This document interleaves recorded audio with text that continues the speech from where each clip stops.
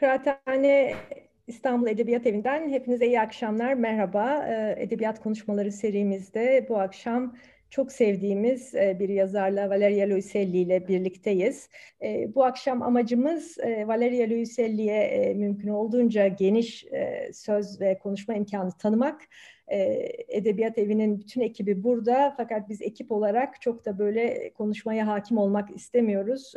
Valeria Luiselli'nin Türkiye'de çok fazla, çok sayıda onu çok seven okuru var. Sizler belki göremiyorsunuz ama şu anda 100 kişi kadarız e, ve sayımız da artacaktır diye tahmin ediyorum. Şimdi izninizle kendisine hoş geldin demek istiyorum. Valeria, hello. Hello, everybody. Yes. Uh, I, I hope to hear your voices and questions later. It's strange to say hello, everybody, and not really, not really see you. Um, but it's it's a pleasure to be here. Thank you so much for inviting me. I wish I were physically in Istanbul. I haven't been to Istanbul in many years, and I am longing to return. Um, and thank you also um, in advance to the simultaneous interpreters. I greatly admire and respect your job, and I don't want to put you in the awkward position of having to thank yourselves, but I, I, really wanted to, to thank you. Um, so before I um, read the brief, the brief lecture that I have prepared yes. today. I am going to. Um, are you having trouble hearing me? Because I hear Yasmin. Yes, we're hearing you uh, perfectly well. Okay. Um, so before I read that lecture that I've prepared, um, I am going to play a few minutes of an audio clip that is related to what I'm going to read. And it's just part of an ongoing um, piece that I'm working on right now, a piece which is uh, like a sonic essay, like a sound essay, um, in which there are several different female voices speaking.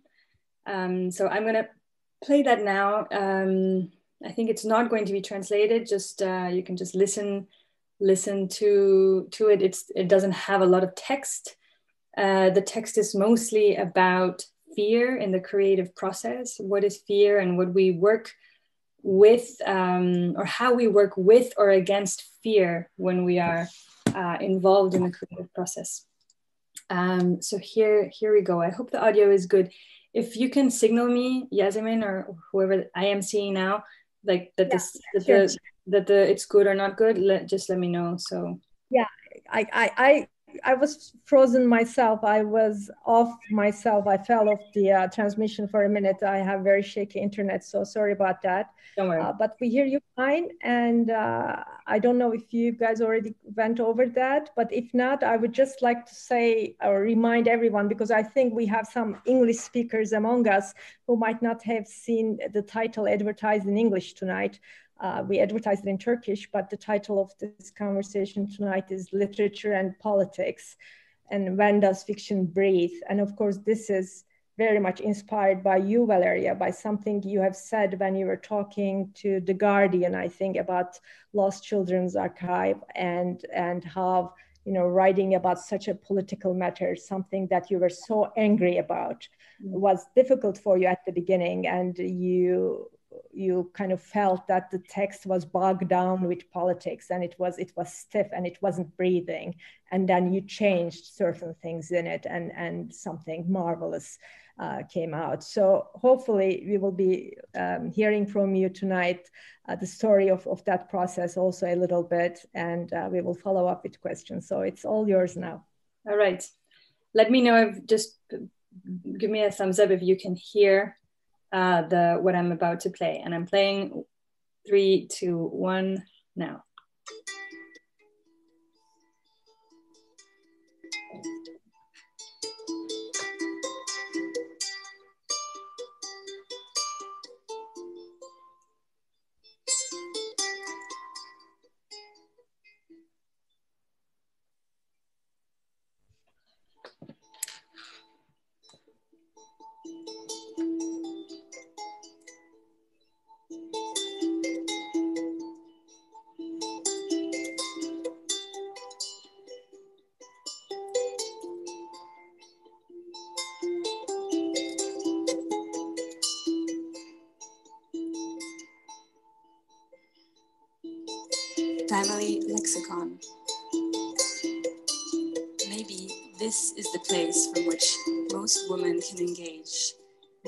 In political thought and produce creative work. I cannot look at the world from the vantage point of a free, solitary gaze. That would be mere literary artifact.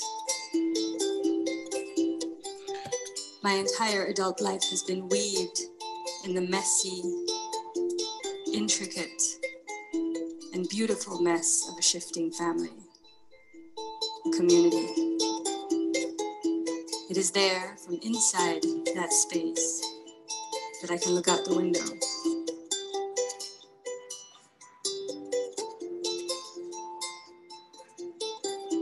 But still, when you look out the window, you're just you looking out the window. Like in the morning when I walk into your room and you're just sitting around there alone with your cafecito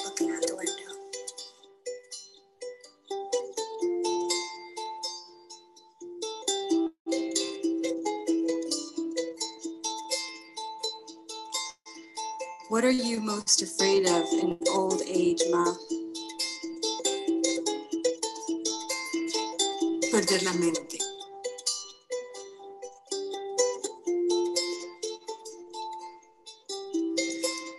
I've been thinking about Dorothea Lange.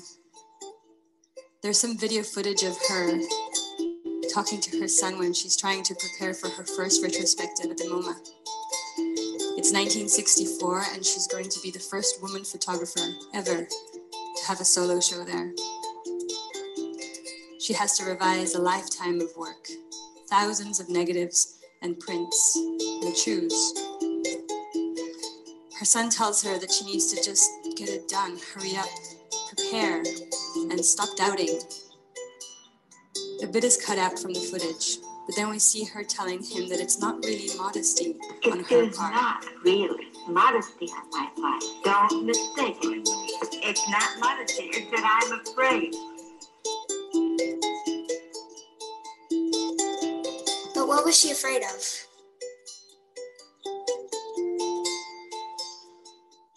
I don't think she was afraid of anything in particular. Maybe not getting it right, not going deep enough. I'm not sure. Well, I don't know what I'm afraid of. Maybe as you grow older, you will know. I'm afraid of my relationship failing, afraid of not being able to protect the little ones, afraid of losing touch with myself. I'm afraid of not being congruent.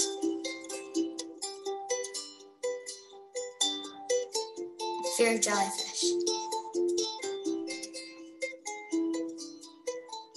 Fear of not meeting my own expectations. Perder claridad.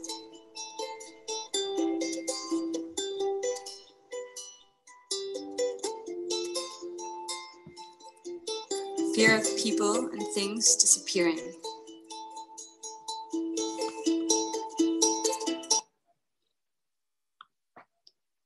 Fear of a world in which nothing matters and everything vanishes. Fear of a world in which language and thought cease to become a space between us. Thought may be a deeply personal, internal, at times solitary process, but it is also the most collective of activities.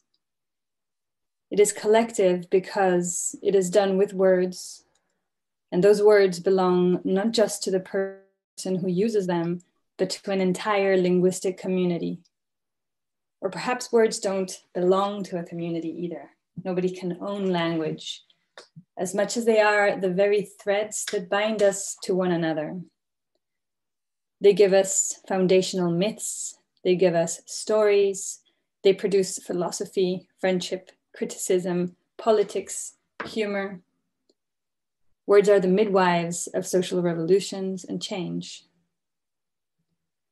Words may bind us, but they can also become weapons against us and particularly against the less powerful and more vulnerable members of a society.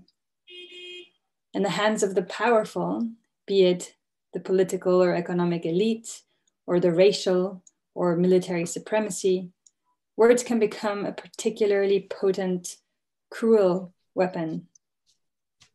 If the objective of power is to remain as it is or to further consolidate, that is, to protect the status quo or transform even into tyranny, everyday language will be used to perpetuate imbalances. A racial elite, for example, will protect the status quo, calling everyone else that is not like them a minority, a term itself apparently harmless and merely numerical in its primary connotation, but which carries another set of associations that both reflect and preserve imbalances of power and of political capital. Then there is the word illegal, for example, which, when used to refer to a sector of a population who does not have a passport or a visa, becomes an ideological weapon against an already disenfranchised group of people.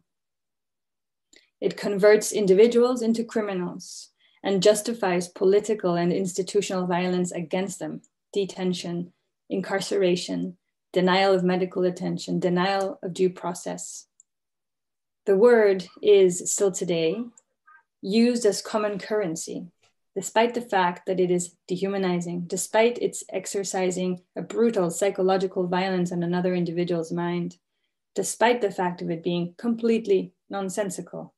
What even is the word illegal person? We cannot assume that words are just there for us to use selfishly, irresponsibly, like an inexhaustible resource. Thoughtless use of words, especially those that contain complex meanings and various connotations, may serve to perpetrate and perpetuate violence.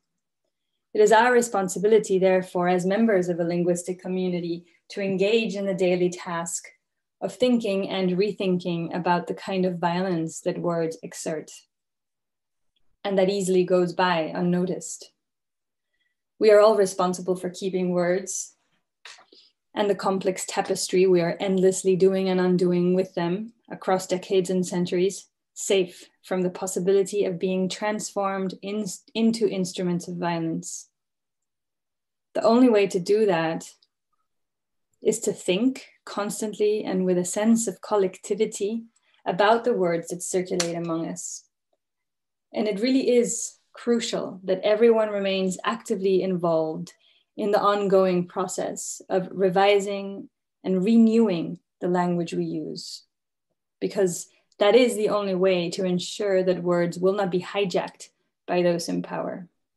It is the only way to ensure that our minds will not be dominated by power, be that power a tyrannical political leader, political parties owned by lobbyists, or the companies that surveil us through the internet.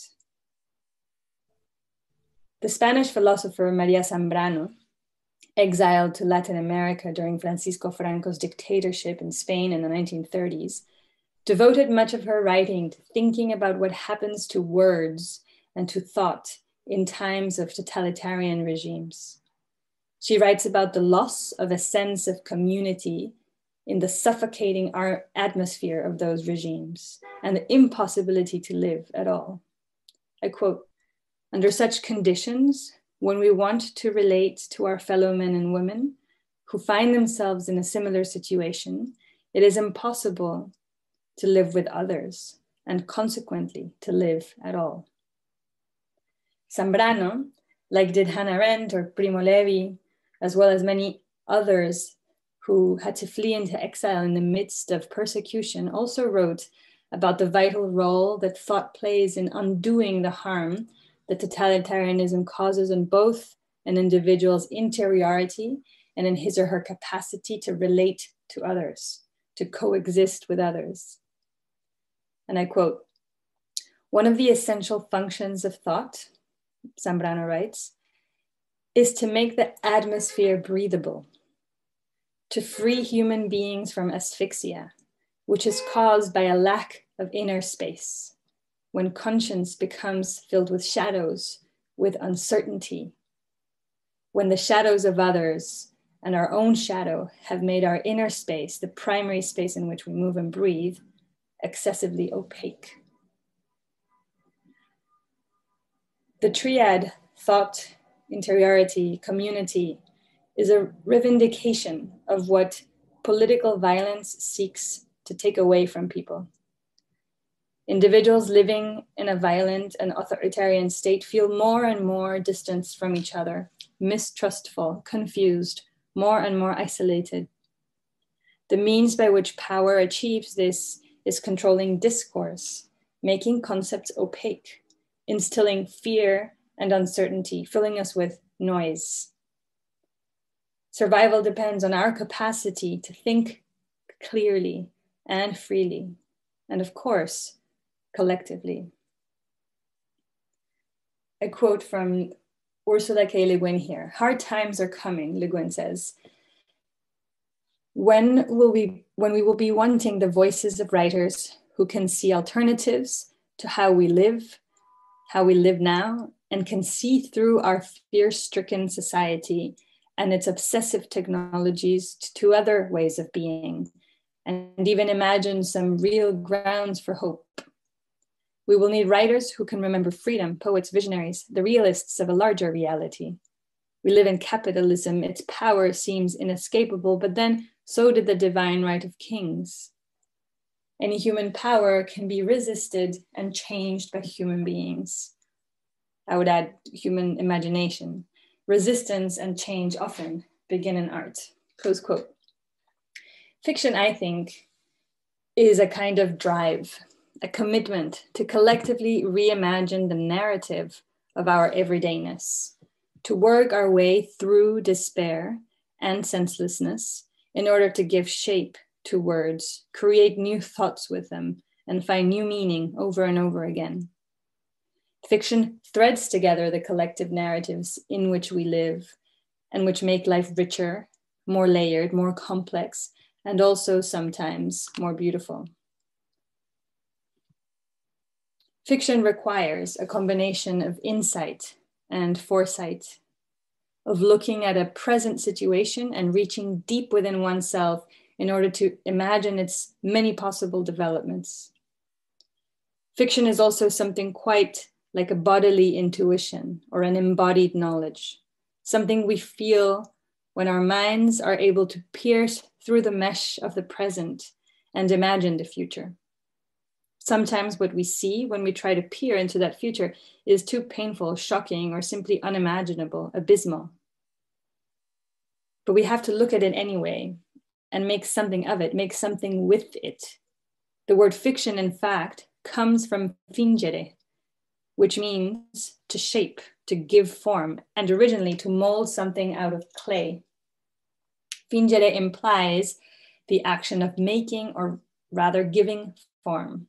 It is not inventing something that is not true, but rather giving shape to something that was already there, even though not everyone could or would dare to see it. In these times of isolation and doubt, we try to give form to this new sense of time. My family and I spend the afternoons planting seeds in germination containers and flower beds, beans, corn, squash, tomatoes, wildflowers, I usually go to bed late, but not too late. Almost always writing. Other times just roaming the house, cleaning here and wiping there. So much dust always. Kitchen to bedroom to living room like a balloon that gradually deflates. Finally, exhausted, defeated, I sit in the dining room table and stare at the books on the shelves, as if by just staring at them, they might somehow fill this new silence with a more meaningful quietness. I approach a shelf, take a book that I read and underlined long ago, open it. And I do indeed find solace in these gentle companions that live in our bookshelves. Quevedo, Francisco Quevedo, once wrote, Retirado en la paz de estos desiertos, con pocos pero doctos libros juntos, vivo en conversación con los difuntos y escucho con mis ojos a los muertos. Or in English translation, withdrawn into the peace of these deserts, along with some books, few but wise, I live in conversation with the deceased and listen to the dead with my eyes. Sometimes, too, my daughter and niece and I read out loud to each other for company, for a better sense of being together, maybe, beyond cooking and eating meals and cleaning the house. We read to each other the way one seeks company around a fireplace, to be alone together. We've been reading W.E.B. Du Bois, Marguerite Duras, James Joyce, and even a vampire series, the title of which I will never confess. In any case, I can say without a hint of doubt that without books, we would not have made it through these months. If our spirits have found renewal, if we have found strength to carry on, if we have maintained a sense of enthusiasm for life, it is thanks to the worlds that book that books have given us. One early morning, some weeks ago, I was reading an essay titled Writing by Marguerite Duras when my daughter came into my bedroom. She's in the threshold of childhood and adolescence, still sleeps with her stuffed animals, but also uses face toner and has moods that swing wildly. As she joins me in the bed and cuddles, I notice her feet are enormous, her arms impossibly long, and her pajamas definitely too small. Is her last milk tooth going to fall? during this period, I wonder, her last childhood days confined to these old white walls. She asks what I'm reading, and I tell her I'm reading Duras and read the first sentences out loud for her to listen. Quote, it is in a house that one is alone, not outside it, but inside. Inside the house, one is so alone that one can become lost. That makes no sense my daughter says. No one can get lost inside a house unless you're an ant or a spider.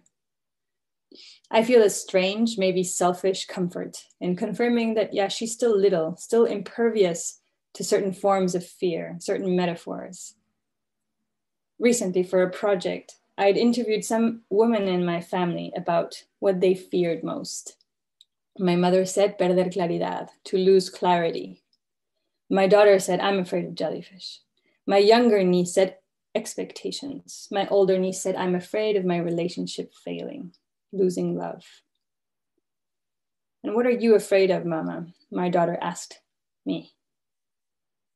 I'm not sure. What am I afraid of?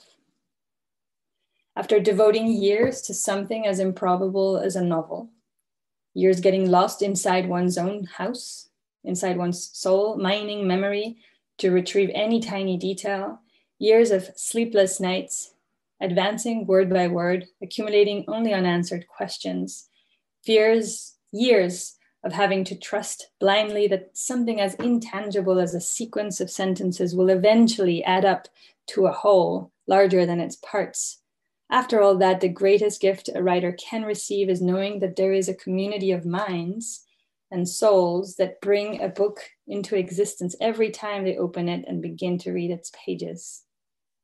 The World of Lost Children archive, which for such a long time grew so quietly and privately inside me, is now a place that others also step into, where they can linger and be alone but not lonely and meet characters like the lost children who are traveling across a continent on their own aboard a beastly northbound train, as well as the characters Memphis and Swift Feather and their rather messed up parents. Let's not judge them too harshly. Lost Children Archive is a novel about the depths of childhood solitude and children's boundless imagination, the fragile intensity of family ties, about tensions between history and fiction, and the complex intersections of political circumstances and personal lives. But more than anything, it is a novel about the process of making stories, of threading voices and ideas together in an attempt to better understand the world around us. It begins with two parents telling stories, their children physically but also metaphorically riding in the back seat of the family car, but then shifts to the children's narrative, to them becoming the voices that tell us the story of the fucked up and beautiful world that we are always fictioning, as in making and reshaping. What am I afraid of? I am afraid, like any adult, of many things of loss, of sickness, of not being able to provide for those who depend on me, of political violence, of the police.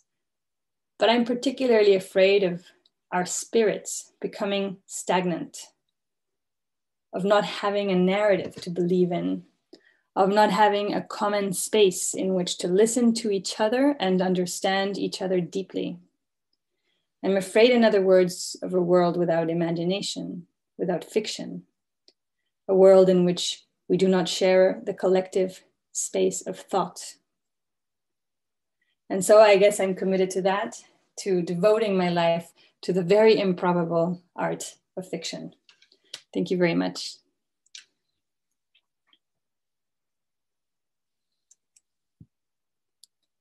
Yasmin, you're still muted.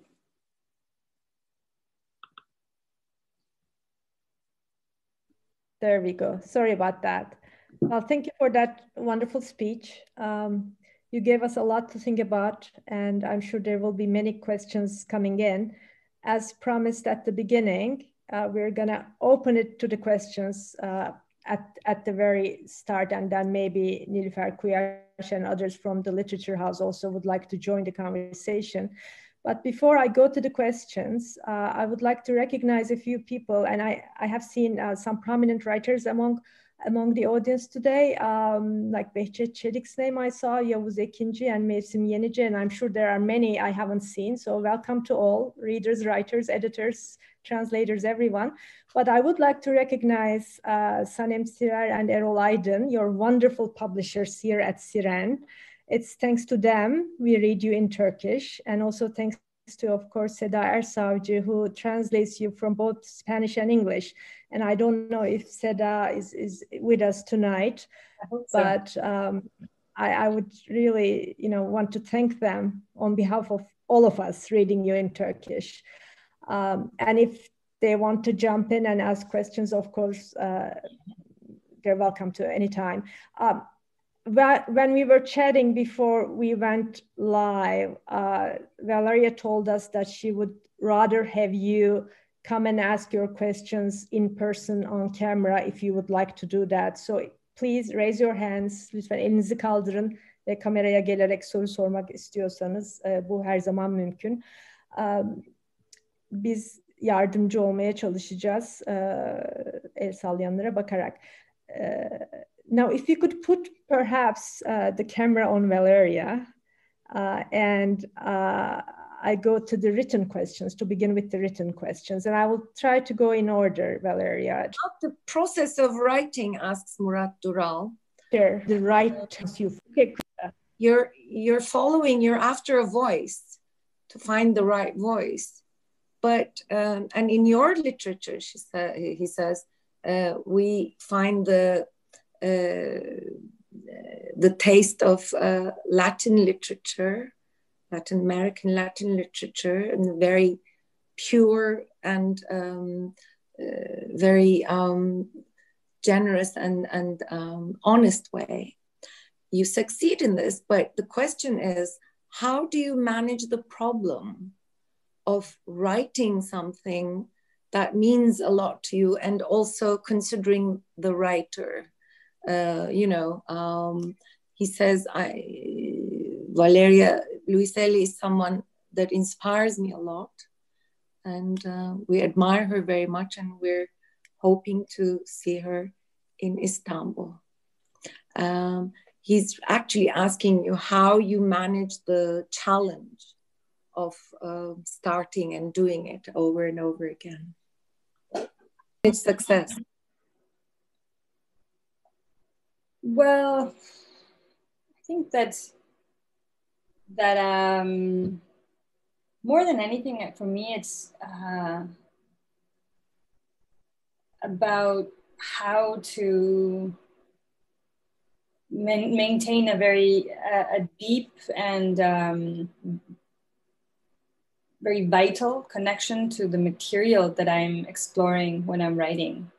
Um, and the the hardest periods for me as a writer but as a human being in general i think are the periods after which i have finished um, a big project and there comes this kind of emotional um, like wasteland. I was going to say desert but a desert is something that's alive and beautiful but like a, a kind of emotional wasteland of not um, of not being not being engaged in my imagination uh, to anything um, to anything.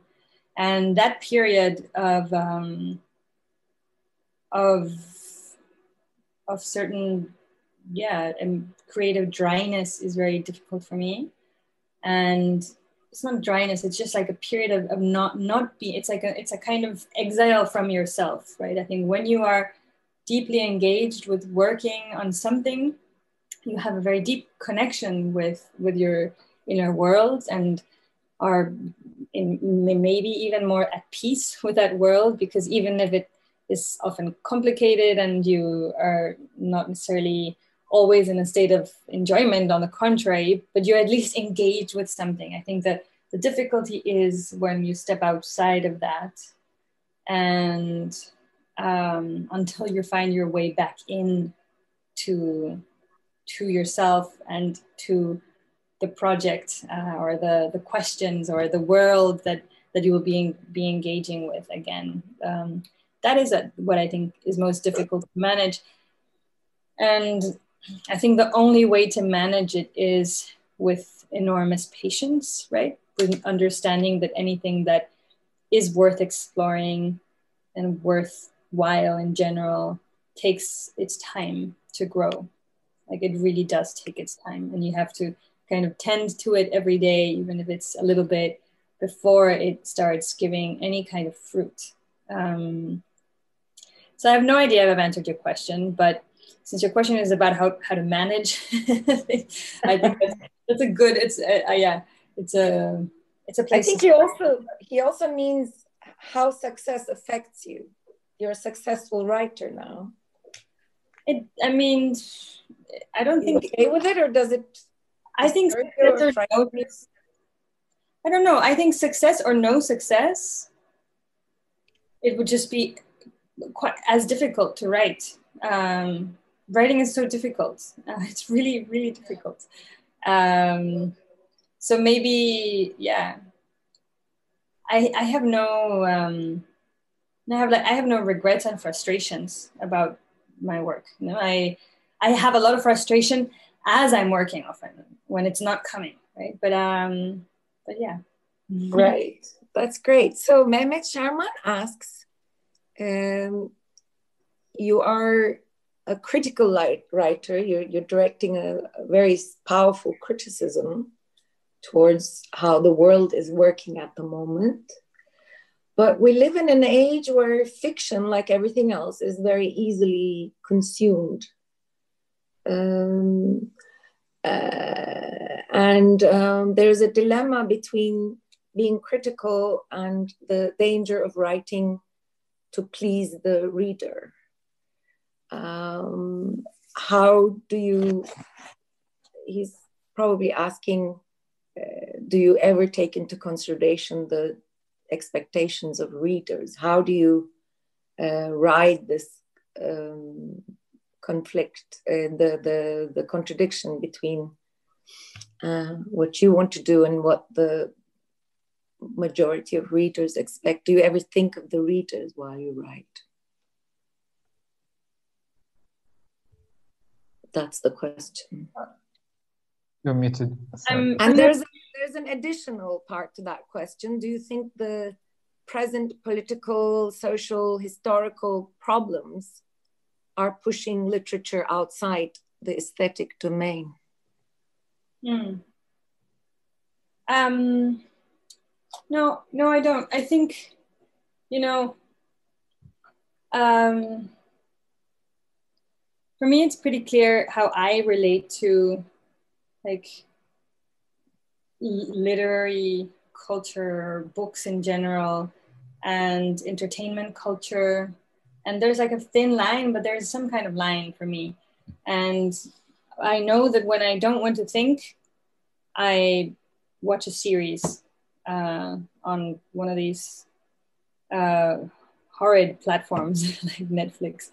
Um, and that when I went to think and I went when I went to engage more deeply with um, or just be alone and find some find some deeper substance of things I, I read. Uh, and I think that maybe there's one maybe one good thing about like the amount of like mass culture products we have nowadays, especially with respect to entertainment, visual culture, is that it's very clear that that it's literary fiction is more and more departed from that. And that is more and more departed from literary fiction. It's like really two complete different different worlds. And i think the readers of literature um, have always been not not a great amount of people but it doesn't it doesn't matter no? it's not it's not um it's not a field in which i think anyone uh, is there doing their work in order to please uh, a massive audience, but but rather to to explore. I mean, I suppose that a lot of writers also write for the screen or thinking about being mm-hmm. eventually taken to the screen. Um, I have I um, I have a very very clear position, or I've had until now a very clear position about like my not my very little interest in in um, in fact my I make an effort. I've always made an effort to write books that cannot be filmed, um, that, that can't really be filmed, um, or that, or, or, or, if they are filmed, you would, they would have to be kind of destroyed uh, in order to be filmed. So, like for example, Lost Lost Children Archive might might be taken to the screen by an interesting female Mexican director that I'm, whose work I like. Um, but I know even her, like she's she's so good, but even her, like there's no way to film this book really. Uh, how do you film the elegy of the lost children inside the book? And without that, it doesn't. The book doesn't. It's not the same book. You know, it's it doesn't fall apart, but it's not.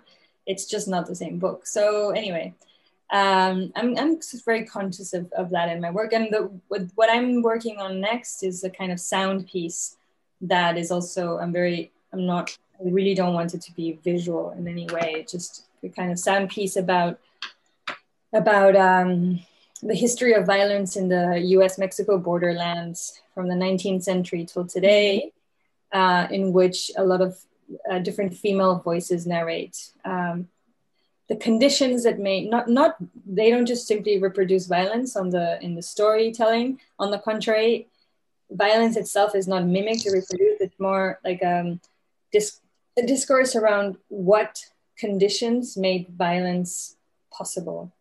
Mm-hmm. uh, in particular i mean i i am focusing on different forms of accumulation of capital that have marked the borderlands from exploitation of land and extractivism in, during mining to industrialization programs uh, in the 20th century between the two countries that created these kind of sweatshop mm. uh, culture that then led to the brutal femicides of Ciudad Juarez. And then more recently, surveillance culture and mass incarceration as, as, a, well, as, as part of the prison industrial complex that is a millionaire billionaire business in the USA, right? So it's it's about that, and there's no there's no way, or I would never want to to take that to a, like a, a space of visual entertainment. You know, quite quite the contrary. Um, yeah. So you're one example of a writer who proves that political problems does not push fiction out of the aesthetic domain. Bravo. Great short question from Andrew Finkel, who's a writer himself and a member of the Literature House. Where do you draw the line between fiction and nonfiction? And Yasemin, are you back? Am I going to hand over to you? Great oh, question. Oh, yeah, fiction and nonfiction. Yeah. How do you draw the line? Between I'm muting myself.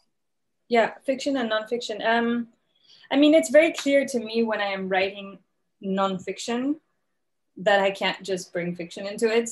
Uh, there's an ethical duty there, right? So it, when I wrote a book like Tell Me How It Ends, um, there's there's just no no doubt about my my my responsibility toward a situation, to, toward a theme, toward a group of people whose lives I'm writing about, etc. When when working in fiction, however, um, I'm not very interested in that line. Um, I just think that it's for me. What I'm interested in is is process, right, and how uh, perhaps a more documentary process that is documenting the everyday conversations with people, overheard conversations or ones that were had at the dinner table or um, an instant uh, in your child's um, day, the kind of family lexicon that rises in the very uh, private kind of linguistic games of the family. Those things documented um, on on the first level then can become for me in many cases uh, the beginning of fiction but fiction in the sense that i was reading er- earlier like fiction as as fingere as like the the act of molding clay uh, giving it a precise shape giving a precise shape to something that was already there so the already there i guess is like whatever nonfiction is but it's but it's in giving it shape that you're already doing fiction. So no matter if it's with raw material of everydayness it's it's fiction all the time right? And i guess one more thing i like about that particular etymological uh, origin of fiction and, and the and the image of clay is that like the what you see in a clay form is not only the final shape that it takes but also the the imprint like the almost the, the, the finger the finger um, uh, prints of the person who's molded it, right? So there's there's an impression upon the material that that is also particularly interesting to think about when thinking about fiction. Okay, uh, so there are two questions from Senur Zorer, and uh, I'll ask them together to you. And one is, you know, when you're writing fiction, when you're molding that clay, uh, do metaphors uh, determine your flow. In other words, uh, does your story lead you to the metaphors or it is the metaphors which guide your story? That's the first one. And the second one. Is about uh, the discipline of writing for you. You know, what kind of a writer you are. Uh, I guess, uh, do you have a system of writing? Do you have a certain discipline of writing? Uh, two great questions. Thank you very much for them. Um, about uh, sort of if, if metaphors are um, the origin of of something, or maybe a place you would, or on the other hand, a place to which you arrive after. Um, I think um, I think it's both. I think um, I think there's definitely metaphors to which you can only arrive after exploring um, material your material long enough and um, and once they appear they themselves are generative of, of more right a metaphor is often something um, that has several layers um, and that which you can sort of unpack and and and and and it has that unpacking generates uh, a movement forward in story uh, or movement inward. I mean, it doesn't matter, but if it's forward or inward or which direction, but but um, a metaphor definitely can help to continue. Um, it's not the end of it's not the end of something, but also a way in which what you've been saying can be rolled into something, but then can also be unfurled, basically, uh, or un- unraveled. Um, and then in terms of um, I guess you, you're asking about practice, what kind of writer. I don't know. I think that every time I write a new new book, new project, I have to learn all over again who the who the fuck I am and like how did I think the, the first question that I ask myself or one of like a question that's recurrent when I am working on something new is how the hell am I gonna do this? Like I just don't know. It's like I forgot. Like I've been publishing for 10 years and then I just forget. I forget how to do it again. And so the question is, how the hell am I to do it? And then one day it's finished. And then the question is, how the hell did I do it?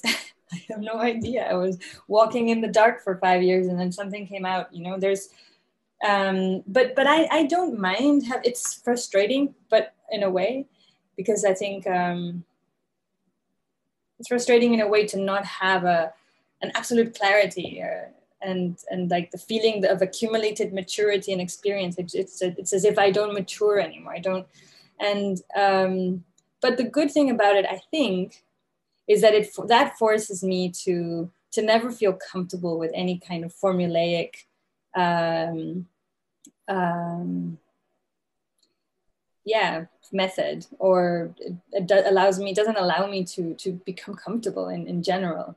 And so i have to look and that also means that i have a lot of fun always. Like i i think for me having fun with what i do not in not in uh, the light the lightness american fun uh, not not even a, a party kind of but just what i mean is like an enthusiasm right uh, a deep engagement with with with what I am doing. I feel that because I never know how to do it, how to engage with that material. I have to invent the rules. I don't know where I'm going. I don't know how I'm going to do it, and all of that gives me a kind of um, the kind of thrill, the kind of enthusiasm that for me is absolutely necessary in order to be able to work.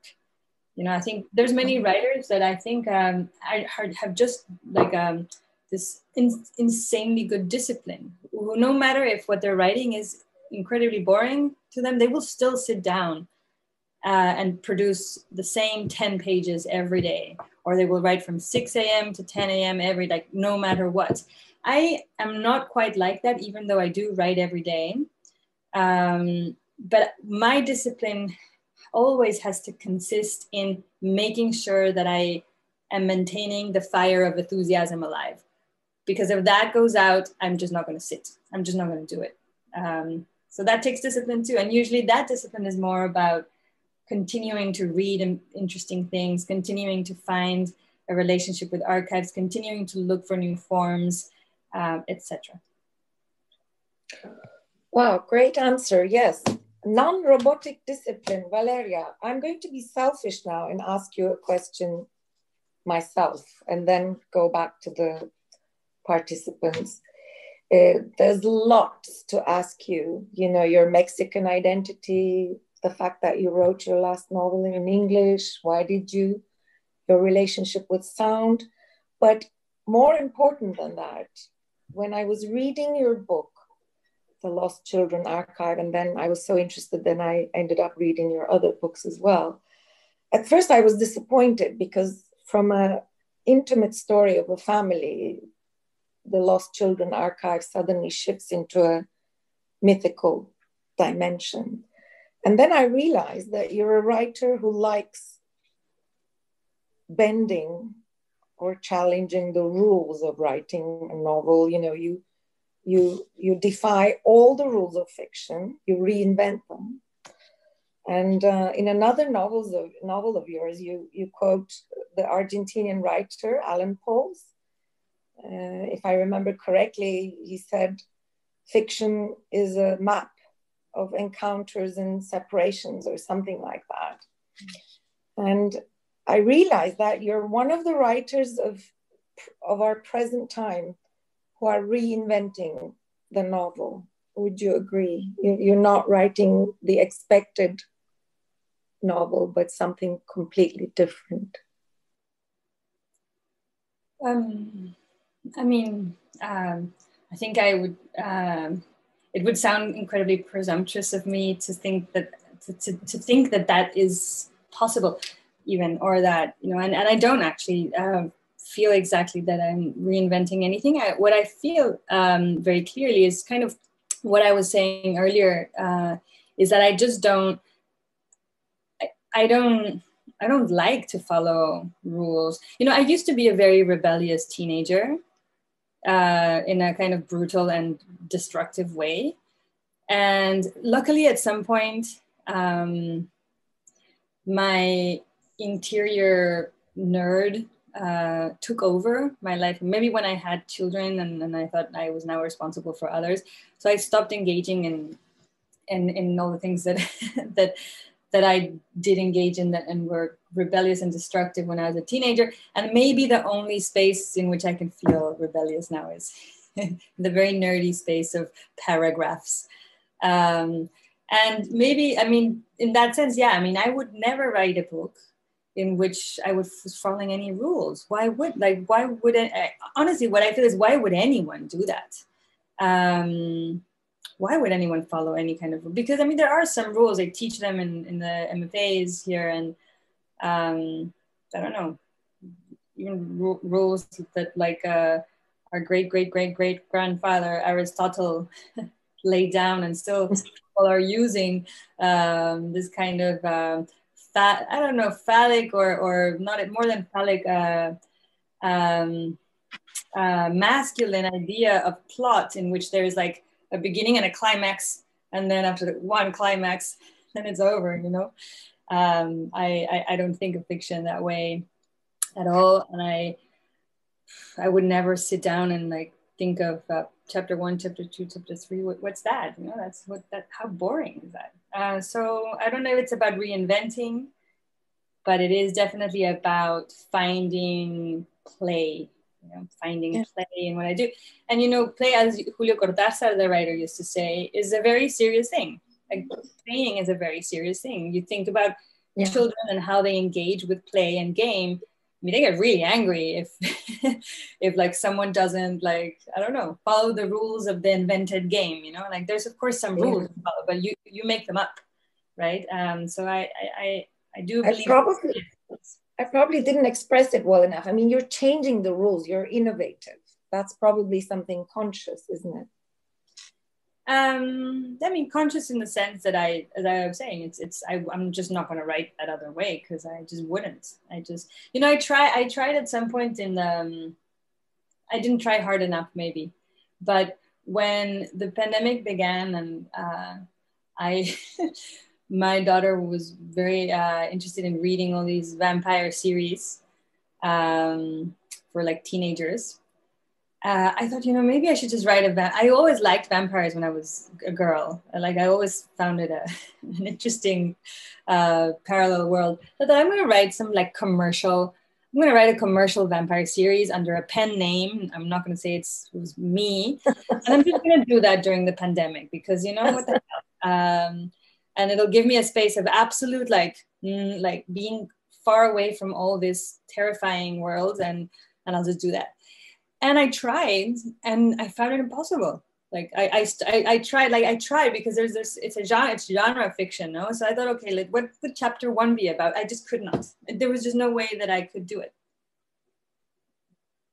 Great thank you. Over to Yasemin now okay I will continue with the questions from the audience and uh, there are, I think, at least a couple waiting. I will start with the one in English here. And uh, Furkan Günay says, uh, in Lost Children Archive, there is a reference to Wim Wenders' Paris, Texas, but also I think his other films like Kings of the Road and Alice in the City has some similarities with the book in some level, like Polaroid pictures, landscapes, and transformative journey.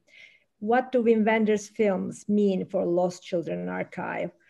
And let me follow up this with, with, a, with a similar question. You just told us that you, you, you're trying to write in a way that cannot be filmed. You know, you're trying uh, kind of to avoid, although maybe your book will be made into a film now, but are you influenced or inspired by cinema in general? Does, does the cinematic narrative um, affect your writing at all? and also in particular, of course, Wim Wenders movies, as Furkan Günay asked.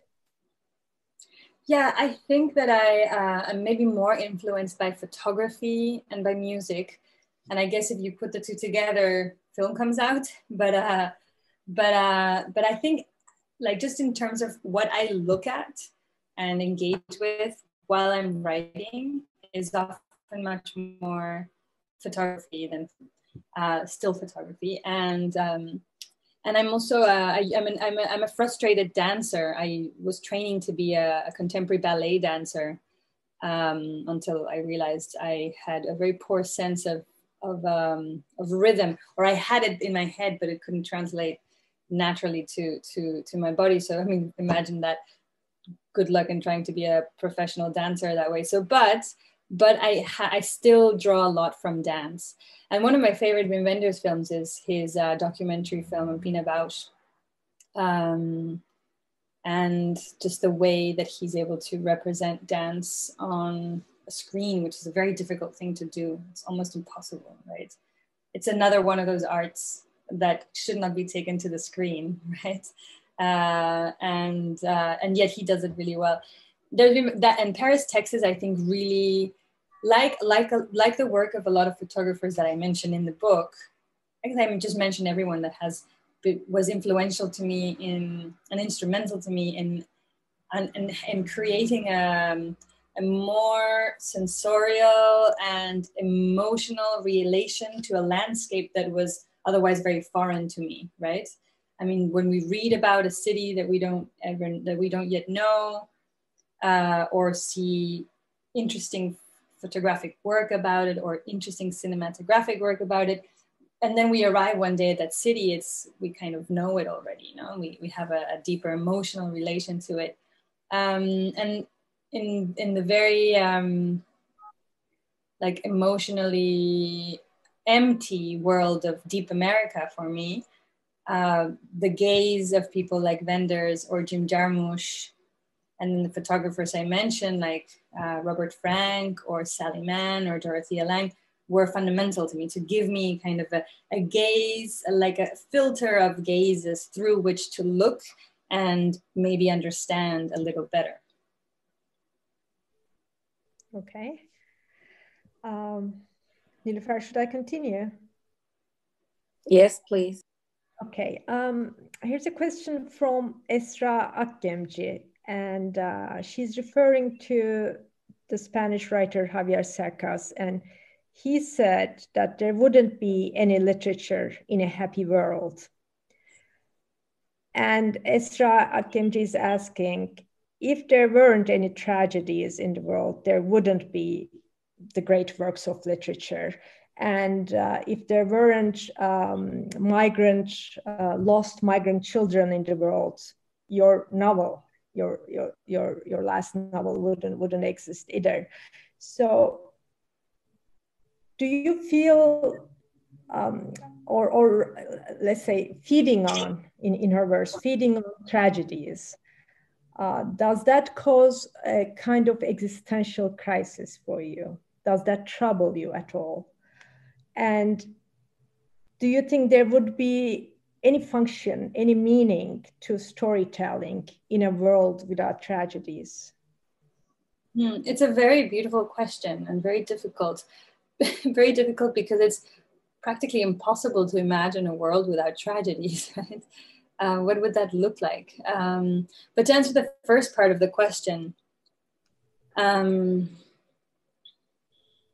I think that that what a lot of us, and when I say us, I, I just generally mean people that that deal with language, that, that that play with it, that create stories with it, be they journalists or poets or fiction writers or essayists, um, researchers, historians.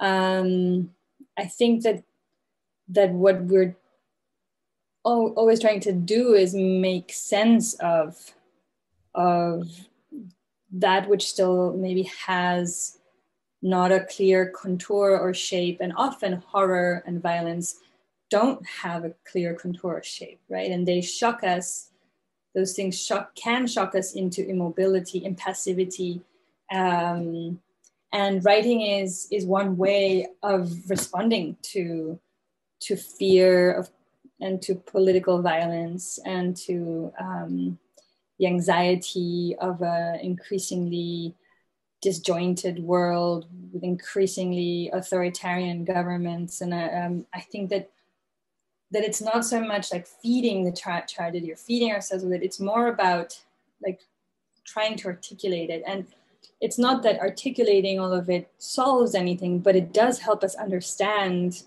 um, and maybe helps us find questions. And maybe also uh, and this is I was referring to this in my in my le- brief lecture earlier. it gives us like a common space, like a common threads, right? So um, if we share narrative, narrative tissue amongst us, uh, we can even disagree better. You know, instead of not understanding each other, we can we can speak, we can discuss, we can share ideas and dissent or or consent. But uh, but we we need that common ground and that common ground the threads of it are language but the tissue of it is storytelling. Okay um, thanks for that.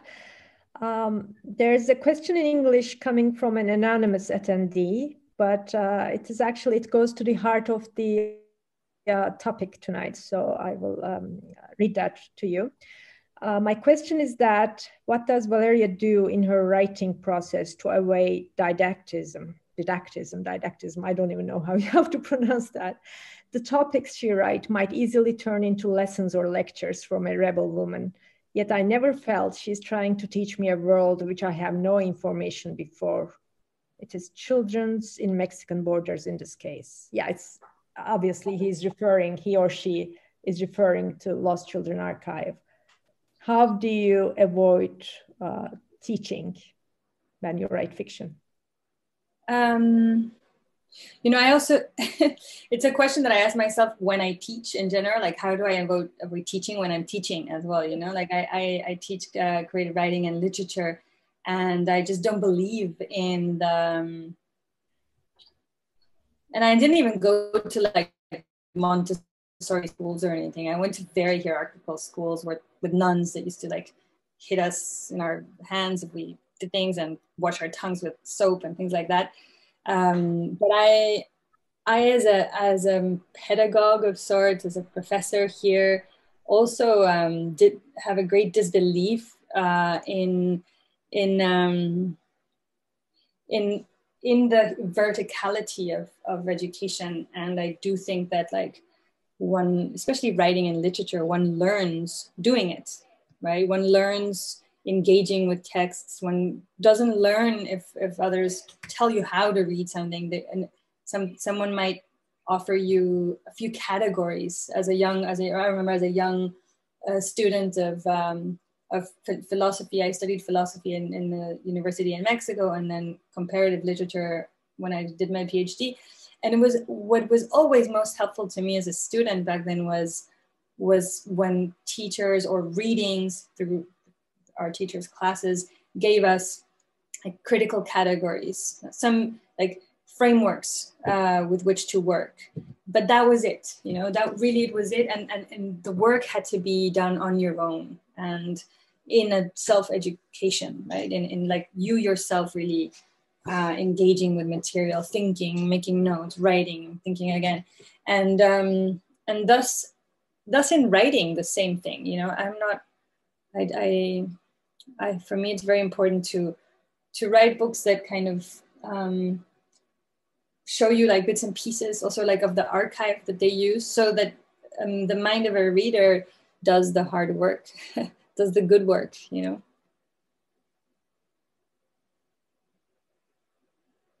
I hate being told what to think and what to do.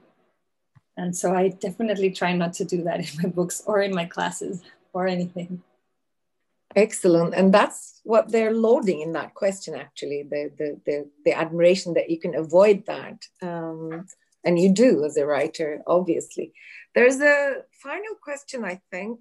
Uh, I don't know if there are any more, but um, the Emre Karabudak asks um, that he he enjoyed the fact that you you spoke about Aristoteles as, as our grandfather, or, or he he he's asking, are there any uh, writers, authors in in history of literature that you consider as your as your um, kin, like the greats or, or your, like your grandfathers.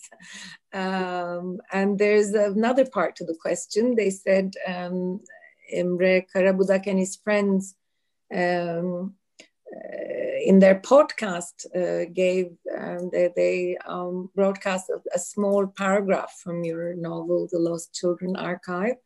And suddenly he wanted to ask you whether um, W.G. Sebald is, is one of your influences in literature, especially in the in the last novel. Mm. Um, yes, I really like Sebald. Um, I I find him extraordinarily boring, but I really like some very boring uh, books, and um, and Sebald is definitely one of them. Um, I could you know it's like a, yeah it's like a, a voice that that has this like murmur and it's often just kind of bleak and gray like a north England. Yeah, I'm so happy you think so, Valeria. I, I was feeling so guilty that I think Sebald is boring. Oh, I'm so happy. But then, but, but there's a lot of value in boring too. You know, like in there's there's these moments of Sebald from out of which it's like this yeah like like this kind of british landscape although he's not british but he, he i guess lived there his adult life mostly. And and then suddenly the sun comes out briefly and it's like such a luminous thing you know? And, and Sebald has these moments. And if you just if you just hold tight long enough you get there and it's they're worthwhile. And i think i've definitely learned a lot from from uh, as a reader maybe more than as a writer from from Sebald. So um, he didn't visit the last book. Not really. I don't know if he's mentioned. He might be mentioned, and I no, no, no. I mean, as an a sort of influence or or. No, yeah, I I no, I understood you. Uh, I don't remember. I mean, I don't. Okay. I mean, no. The the answer is no, but mm-hmm. I don't remember if he is mentioned. He might be. He's mentioned in, in other other other of my work for sure because he's definitely someone that I've read and reread. Um, but and your spiritual grandfathers and the literary greats among the greats or grandmothers? Grandmothers. Uh, I would say, I mean, I don't know if she would like being called a grandmother. She's young still, but um, but Anne Carson uh, yeah. is uh, definitely a voice that I am always interested in and trying to learn from. There's a freedom in her writing that I that I think inspires a lot of writers. Um, and I'm a great admirer of the. I guess this is this is more a grandfather figure, surely the Mexican uh, writer uh, Juan Rulfo, who who wrote Pedro. Oh, yeah. I don't know if he's translated well to, to Turkish. Into Turkish, yes, yes. Uh, Juan Rulfo is, is a very bad, really bad. Mm, but Rulfo is someone that I think I reread often. Um, I, I, think I read that book at least once a year, often because I teach it, or or just because I'm trying to like understand again how to just have so much freedom with respect to form and the management of time. At the end, all novels are about how you manipulate time, and that's the hardest thing always. And I think Rulfo is is someone that reminds you of your the freedom in in manipulating time and space. Mm-hmm. Um, yeah, but there are many. There are many many people that I read, reread. I always reread Joseph Brodsky. I always reread the poetry of Emily Dickinson. Um, yeah. Quite a woman after my own heart, you are. But um, let's, um, I, I, wanted to ask you one thing. Um, you said something about Anne Carson, which I really wanted to, you expressed it better than me the freedom in her writing. That's exactly what you have in your writing too. That's what I meant in my previous question. You you you break the rules of writing fiction. You you you innovate them. Mm. Uh, you, there's a freedom in your writing. Um, uh, so thanks for mentioning that about Anne Carson because I think. Mm. What do you think that that there is that kind of freedom in your writing as well? Yeah, I think it's you know once uh, when I was much younger, the one of my my favorite Mexican writers was this man. He died a few years ago.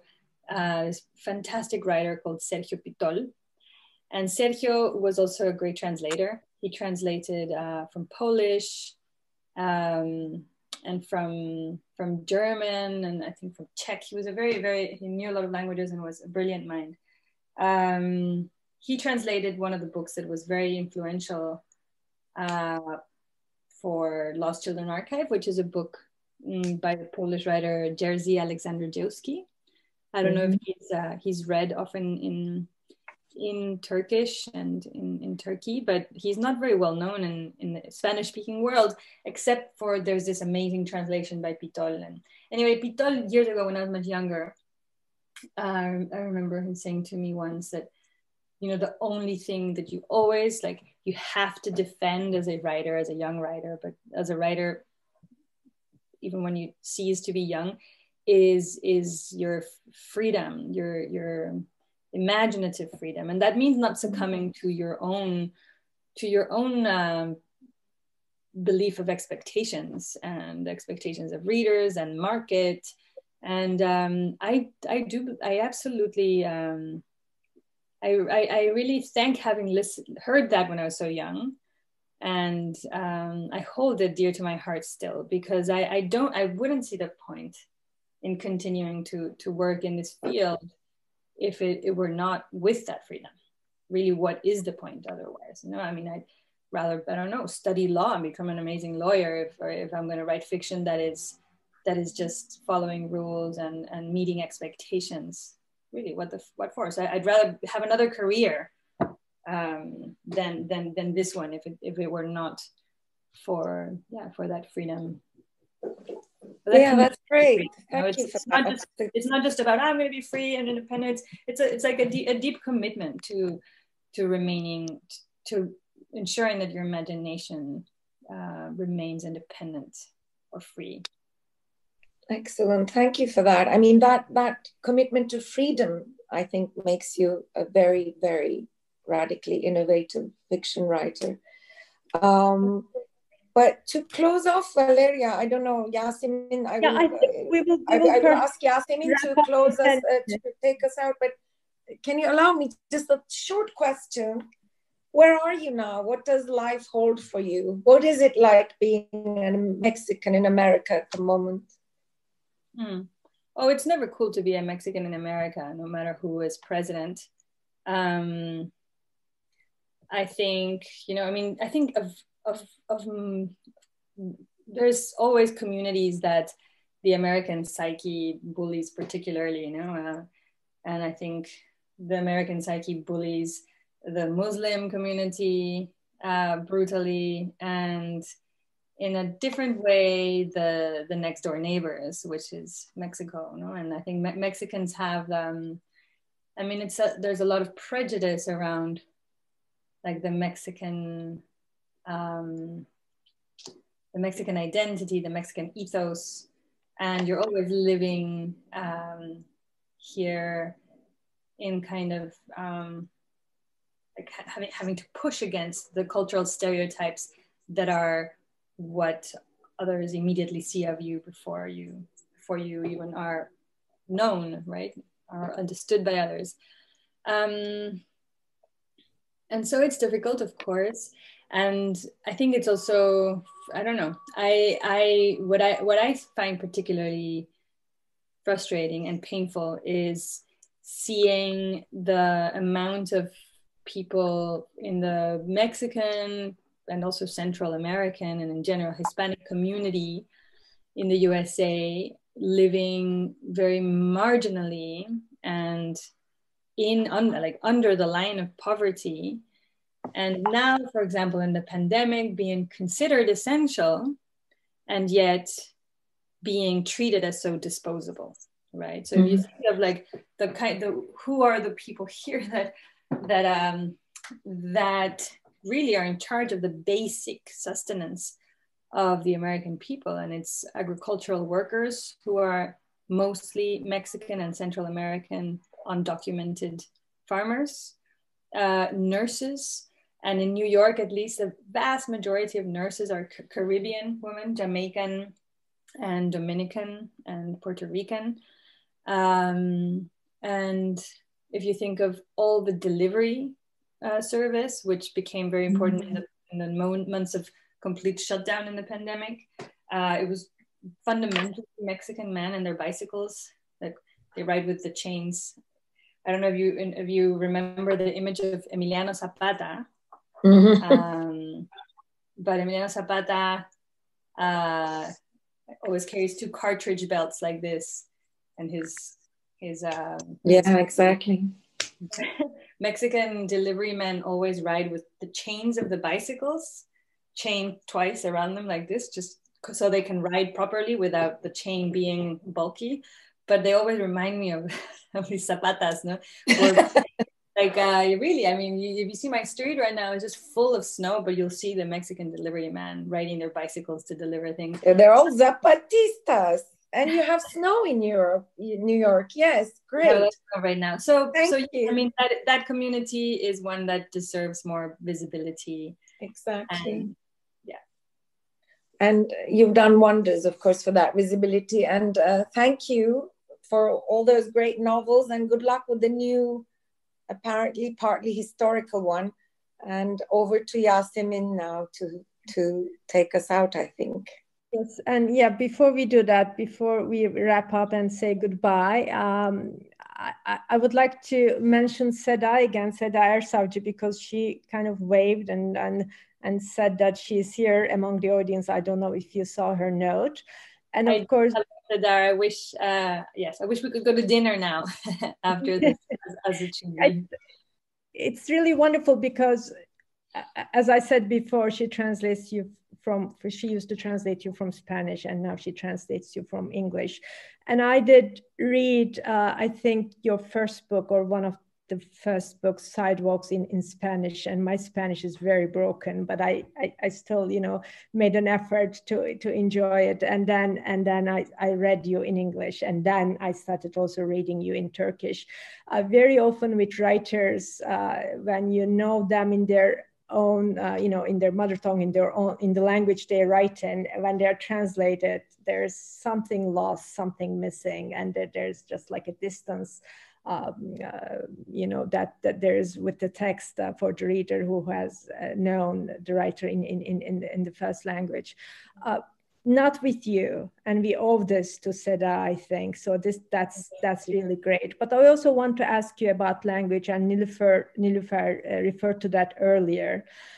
I know you said somewhere that language or or the fact that you were in between languages you know this linguistic dissonance this this dissonance of language is is is a marker of your identity. And i want to ask about that uh, in particular, why are you now writing in English? Will you always write in English from now on? Uh, why did you try to write in Spanish and why did you perhaps quit? And also, you know, how do you define your identity?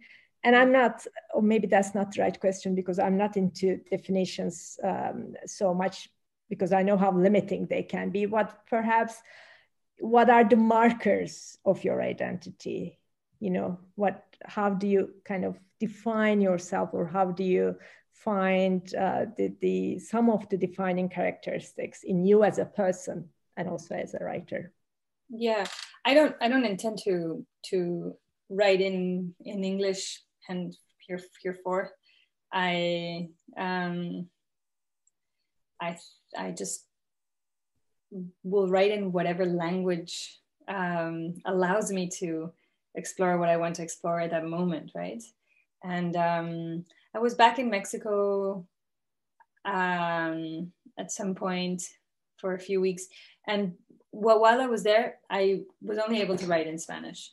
And then I came back here, and and I think I mean you, one inhabits a linguistic community, so also it's it's sometimes um, complicated to um, yeah to to to write in the language that you're not living in unless the writing project uh, really um, forces you to.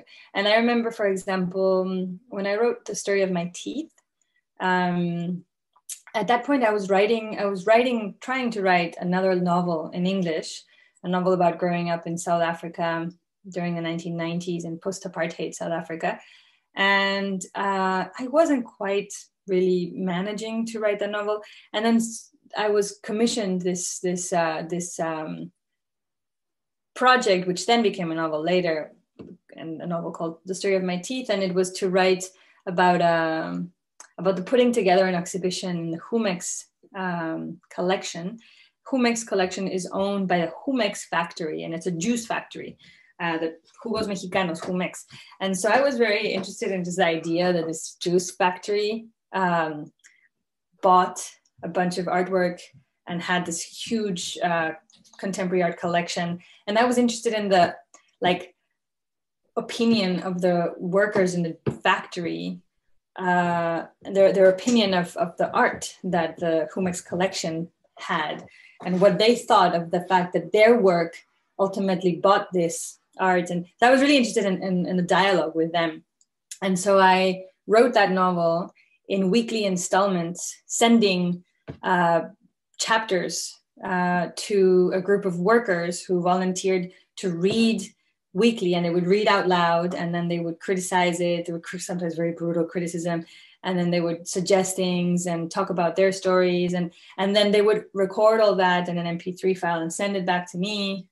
And then I would write the next installment. And that's how the novel was written in this kind of exchange or dialogue between that group of workers. And that was obviously in Spanish, even though, you know, like it had to be in Spanish. But that was the only novel that I wrote in a language in a way that the circumstances were forcing me or dictating that I, I just couldn't write it in English. These were Mexican factory workers. Every other novel I've written or book I've written um, confronts me with the question of like, what language are you going to write me in? You know, and and it takes me a long time to figure that out. I often procrastinate for about a year, um, just writing notes in both languages until one one language takes over. And so I, I don't, I don't, I can't programmatically say now I'm going to be writing in English or now only in Spanish. It just, it's something that I have to ask myself with each new project. Okay. Uh, so what's next for you? What is next is um, uh, very slowly a a little a novel something. I don't know yet but it's how it's going to i don't know. It has a title maternity leave but it's i don't know. Uh, it's I, I i'm writing it almost as as distilling something. So it's very very very very slow and and who knows what will happen and then the the project the bigger project that i'm working on right now is this is this sound project called for now echoes of the borderlands and um, it's what I was talking about earlier. Uh, just a sound, like a sound essay, a sonic piece that lasts 24 hours. Of course, you don't have to sit and listen to the 24 hours in one go, but 24 hours is the amount of time that it takes to drive from one extreme of the Mexico-U.S. border to the other extreme. So from Tijuana, San Diego, to the Gulf of Mexico, Brownsville, Texas, and so it's written in kind of 24 sections that deal with different um, different aspects of the history of violence in the region, like mining, but it's told in many different voices.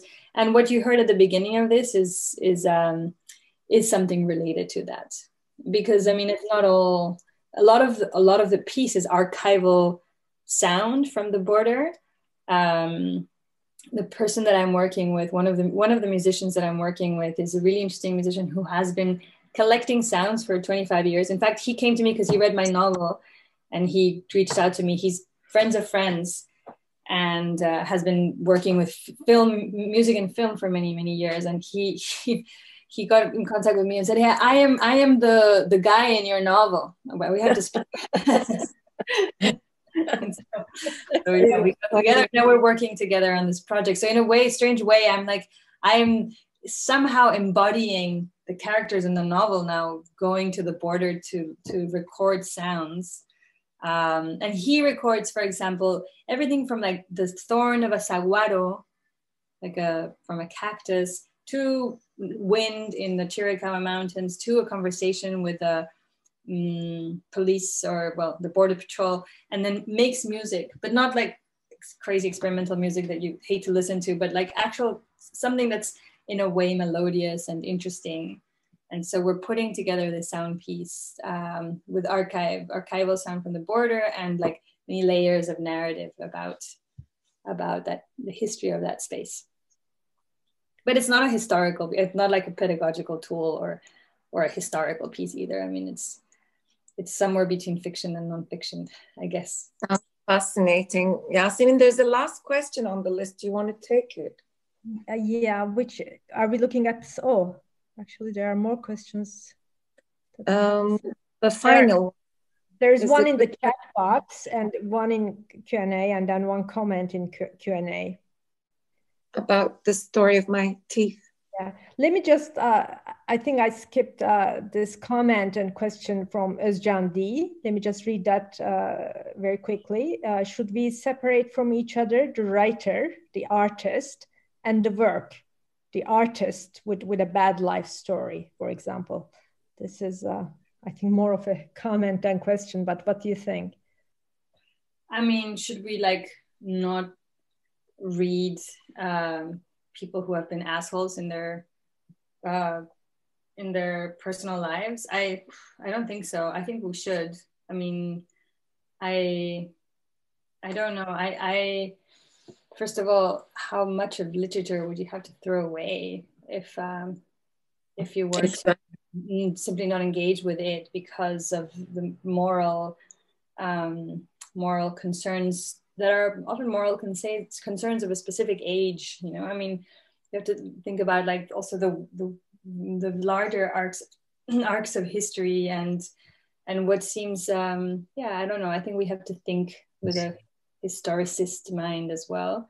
Not to justify anybody's horrible actions but to to place them in context but then ultimately should we do this? Should we do that? Not do whatever you want to. I'm not going to tell you what to do. Uh, i read whoever i want to. There's actually at present a Me Too explosion in Turkey in the world of literature. So the question of whether we should read the works of, of, of male um, abusers is, is a very hot question in Turkey at the moment. well i think they should be condemned for their moral uh, of course for their actions definitely. And i think me too has been a very very powerful tool for women because collectivity has been the only way in which we can be heard because individuals and individual women get systematically silenced and not believed. And um, you know be it that they go to the police or to other people. And it's there's always there's always a sense that you're pretty alone as a woman when you denounce um, sexual and emotional violence uh, so collectivity has been the tool, you know, and I think it's it's an it's an interesting one and a powerful one. I don't think, however, that people should not be read. I I, I as I said again, I will read whoever whoever I want to, and I don't want anyone to tell me if I can or cannot read them. You know, it's such a person, it's such a personal choice. Just do whatever you want to. Okay. Okay, one last question. This is from uh, Bora Osanmaz, and I'll translate that for you. He says, in, in, in the history of my teeth, uh, you have a lead character who is a fibber. And if you ask me, this character uh, is, is very familiar uh, to us uh, in this country, uh, um, practicing the art of survival. Do you think, uh, like in life itself, that we find in literary fiction, uh, the stories, um, the old stories, stories that have already been told um, in new forms and shapes, and and in a way, in a in a repetitive way, and and then he says, uh, looking at the world through your filter is is is. Um, rejuvenating and and uh, liberating, and and he wanted to emphasize that. Well, thank you. I should say, I'm not sure what to end. I'm not not sure I understood the question part of. But the, the same stories keep repeating in fiction through history oh, over and over again. Is yeah, that like so? The Fibber character, you know, he it it is a very familiar character, and you can see such characters in real life or in other stories of course. Um yeah i think they do know right there's like archetypes that, that we keep on having to to re um, i mean sometimes explore again or sometimes like deconstruct and and and understand um again in a different time. You know um if we think of uh think of like the character of ulysses uh, or Odysseus of um, of Homer's um, uh, Odyssea. I you know I read I read Ulysses as a as a heroic epic character all through my 20s as I was a student young student of philosophy it was only really like after especially when I read it was only like way after and especially not not reading Homer but reading um, Seneca's version of the woman of Troy the Troades um, that I realized he's a he's a he's basically a woman trafficker. You know he's a sexual slave trafficker ulysses and that's that's our hero. That's the hero of western civilization. What he does to the woman of troy is after they've destroyed troy he takes all the women of troy as captives to be given out to his to his buddies to his um, greek buddies know and um, and that is a hero in our culture. So i mean i think we of course have to like return to the archetypes and heroes of literature and frankly also rewrite them or de- deconstruct them and understand who who we are um, how we what kind of narratives we are we are perpetuating sometimes mindlessly. Excellent answer. Yes and right thank you. that note i think yeah we, we should thank you very much valeria for this very special evening for this wonderful conversation. And on behalf of everyone at the Istanbul Literature House, let me invite you once again to the house when you can actually travel to Istanbul and uh, to be with us face to face in our small rooms in the house and uh, to continue this conversation. Yeah, I would like to say also just to the also, I mean, if to the young female writers who are maybe involved or not in the Me Too's in in um, in Istanbul and in Turkey more generally, that if they have not seen the work of Las Tesis, this uh, Chilean group of young women, I, I know it, it, arrived in Istanbul because I remember seeing a video of Las Tesis in Istanbul. Uh, but uh, I'll, I don't know how to how to message everyone. Let's see, chat to I can't From chat, yeah. So it's it's uh, I recommend you to see a video of Las. Can you can you send this to everyone? This is Yankee. I don't know who's, Yan- who's Yankee. Mm, send chat to. You can send it to all panelists. I cannot. To co-host, panelists, panelists, panelists. No. Panelist and at- attendees.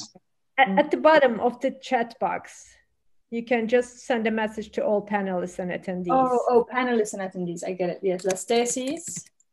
Um, wait, let me send you the right video uh, las tesis.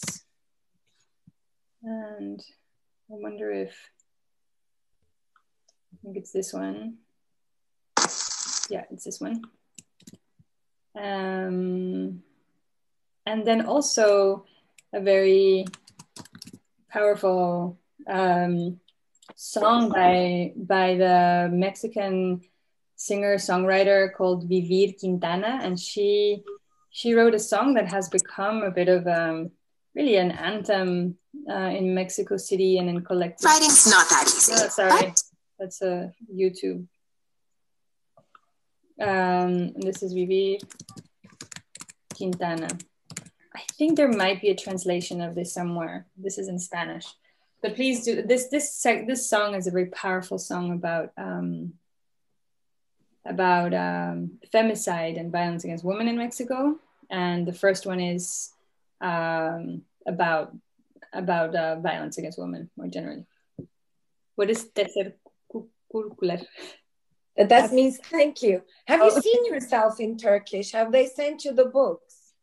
Yes, I have. I have a, a copy of the book. Great, yeah. wonderful. Thank you so much. Over to Yasemin to say goodbye. Thank you so much, Valeria. Thank you. Goodbye and iyi akşamlar everyone. Thank you so much Valeria. See you soon. Thank you everybody. Be well. Bye. Take care. Bye. Happy New Year. See you too, Nilüfer. Bye, Yasemin. Goodbye. Bye.